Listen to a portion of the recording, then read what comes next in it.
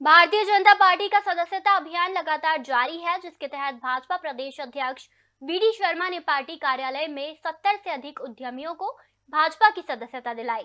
सदस्यता कार्यक्रम में विधायक भगवान दास सबनानी भी मौजूद रहे। भाजपा प्रदेश महामंत्री और विधायक भगवान दास सबनानी ने बताया कि भाजपा के संगठन पर्व के तहत पार्टी के सभी कार्यकर्ता और नेता सदस्यता अभियान में लगे हुए हैं। उन्होंने बताया कि प्रदेश में अभी तक 26 लाख सदस्यता हो चुकी है और आगे भाजपा डेढ़ करोड़ का लक्ष्य पूरा करने में जुटी हुई है।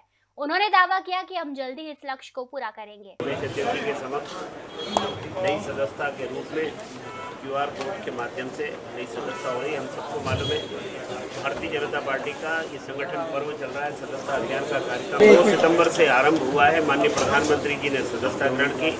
इसके पश्चात सभी सदस्यता के अधिकारी पार्टी के तमाम वरिष्ठ नेता, तमाम कार्यकर्ता नए सदस्य, सभी की सदस्यता हो रही है। हर छः साल में जो रिन्यूअल होता है, इसी क्रम में 2024 का ये सदस्यता अभियान छः वर्ष की अवधि के लिए 2030 तक के लिए ये सदस्यता होने वाली।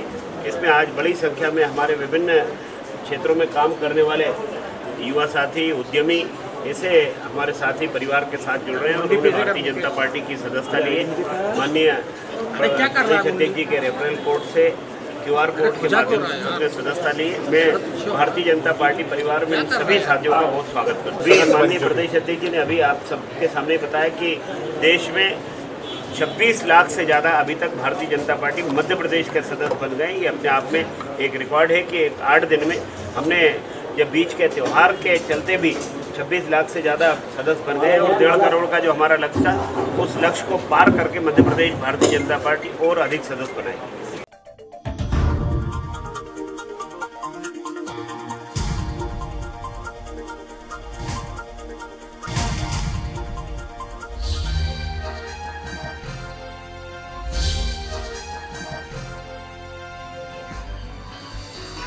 आप देख रहे हैं दखल न्यूज़।